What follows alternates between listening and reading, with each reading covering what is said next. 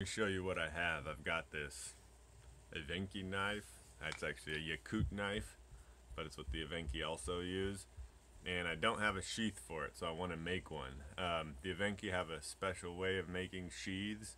Uh, they usually make wooden ones with, and they use tin oftentimes that they find in the forest, you know, from maybe an old can of sardines or something. Uh, and uh, I'd like to show you how to make one, uh, specifically an Evenki uh, knife holster, but due to the shape of the handle on this knife, whereas on a, a Forest Evenki knife, your handle's going to be fatter than your blade. On this one, it's narrower, so that'll affect somewhat the way the system is designed on an Evenki sheath called an Iniki in Evenki to uh, to lock into place. So I'm gonna modify. Um, you know, I guess I'm gonna go a different route with the with the sheath for this, and hope to show you the um, one a different time. My Yakut knife made by 51 Bravo knives and then what I'm making is a little wooden frame that this knife will fit inside so you can see I've carved out a little this is where the space where the knife's gonna slide in there. Uh, I'll have two of those like this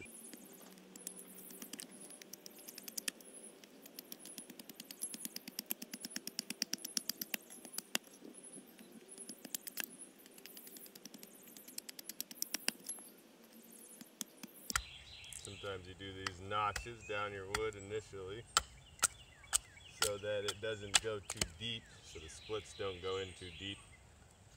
They catch these little notches that you make like this when you then like this. Wah, wah, wah,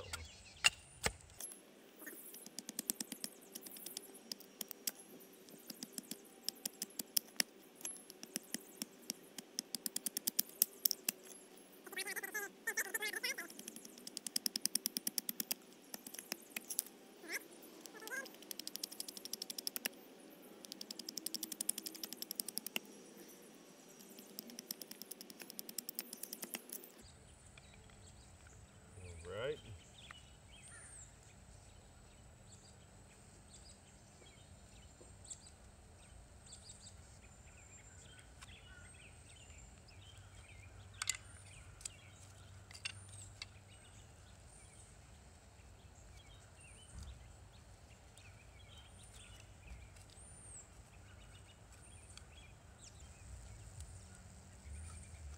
One of the nice things about the Yakut knife, you can just lay it flat and and plane along like that. You don't have to angle right.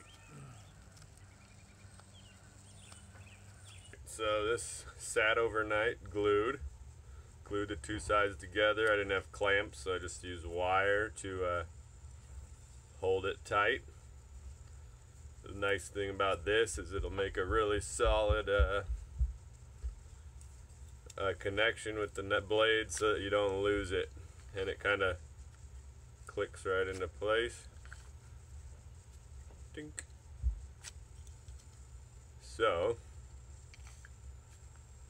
if you're on your reindeer sleigh and you're bouncing down the trail sitting there you won't lose your uh, knife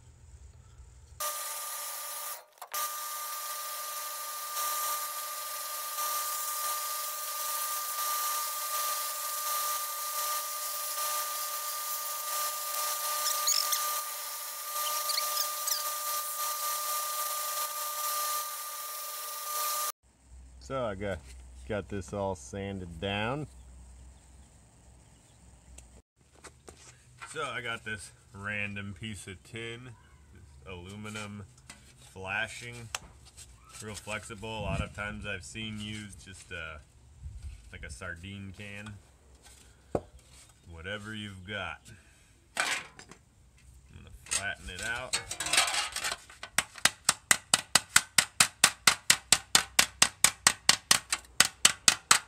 One way of making these sheaths I'm actually doing a modify. I'm, I'm modifying uh, the Evenki wooden sheath with the tin top because again my handle shape doesn't um, fit the traditional Evenki type sheath style but I'm going to use the, the tin wood combination all the same. So to do that what we're to do is I'm gonna go this way. You can see I've bent the tin and given myself a little extra. Uh, right here, which is where these two these two tail ends will bend over each other. Uh, and here's where I'm kind of making it up as I go because my this is a different style but I'm gonna actually cut up with the metal here and leave this to pull back down as a loop and create a little loop here off of which I will make my leather belt clip. So other than that over here I don't need a loop so I can cut that.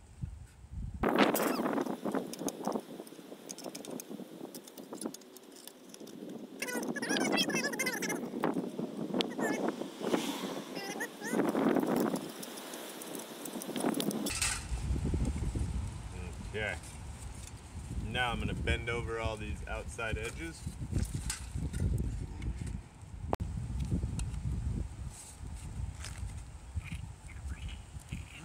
Alright, so just bend these edges over so they're not sharp when we're done. Alright. So you get your you get your lock, it's bent in the same direction like so.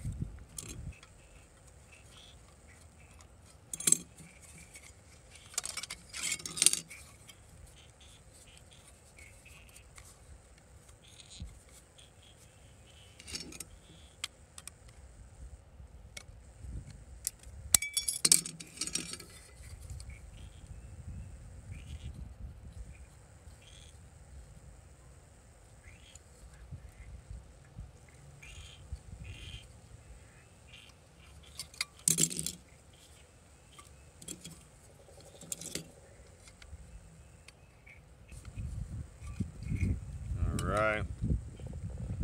Lock these two together.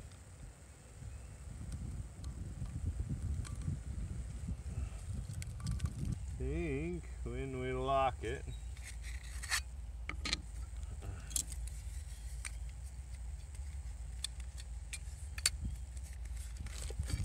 bring it together.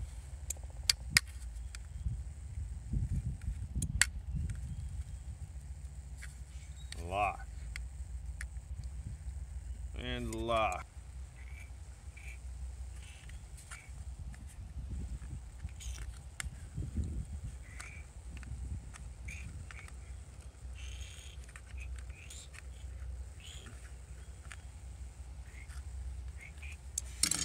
all right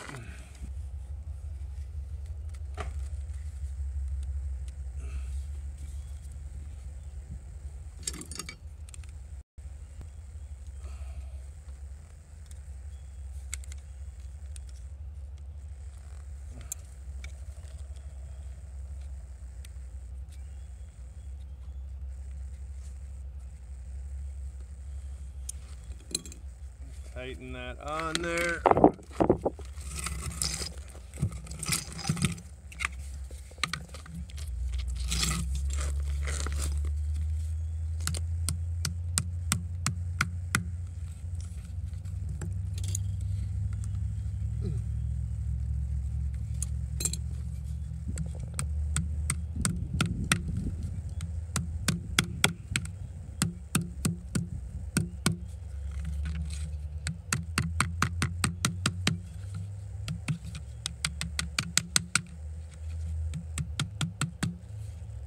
All right, so there I got the the knife wrapped. That'll make sure these two glued pieces never come apart.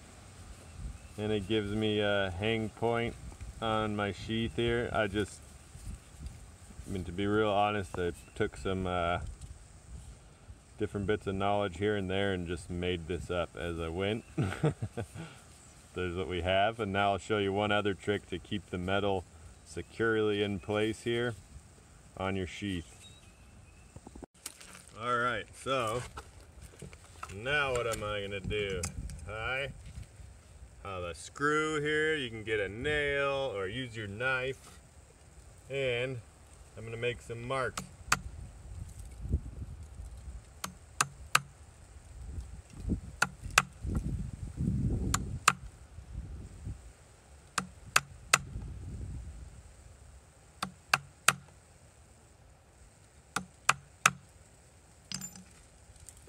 Make marks like this.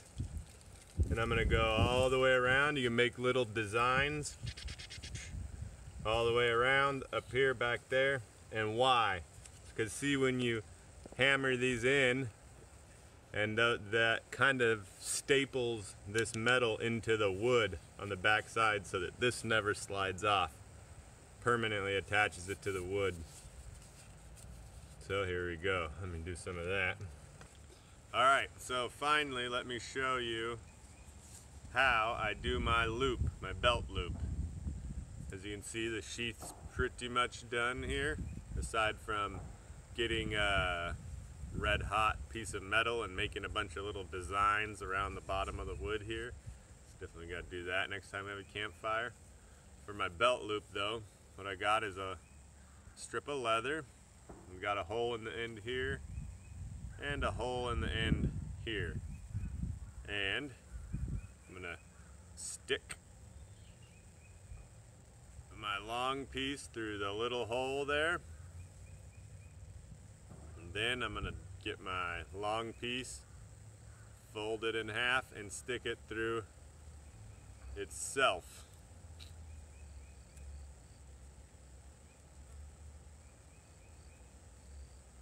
And pull it tight.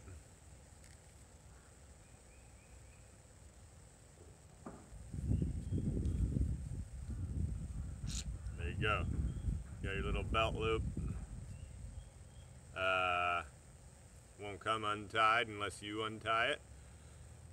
And that's that. Here's my little half Evenki, half made up um, wooden sheath. Again, I had to kind of come up with my own design as uh, my knife is different than an Evenki knife. Um, although the the blade's similar, the handle layout's different.